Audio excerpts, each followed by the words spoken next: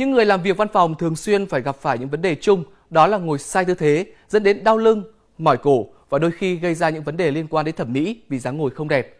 Một công ty của Israel đã cho ra đời một thiết bị mới giúp người dùng tự điều chỉnh được dáng ngồi và từ đó thì cải thiện được các vấn đề liên quan đến sức khỏe do ngồi sai tư thế. Thiết bị Upright Pro sẽ được gắn lên lưng của người dùng. Khi tư thế ngồi chưa chuẩn, thiết bị sẽ rung lên nhắc nhở người dùng ngồi thẳng lưng.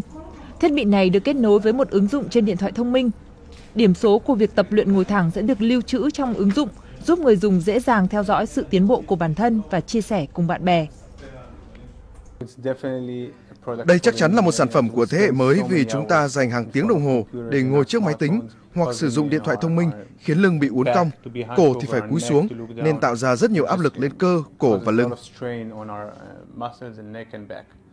Các chuyên gia vật lý trị liệu cho rằng thiết bị này còn có thể kết hợp hiệu quả với các liệu pháp vật lý để điều trị cho những người bị đau lưng.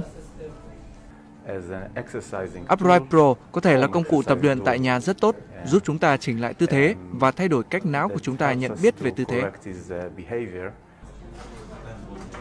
Thời gian dùng Upright Pro có thể lên tới 8 ngày cho mỗi lần sạc. Thiết bị này được làm từ silicon y tế nên thân thiện với người sử dụng.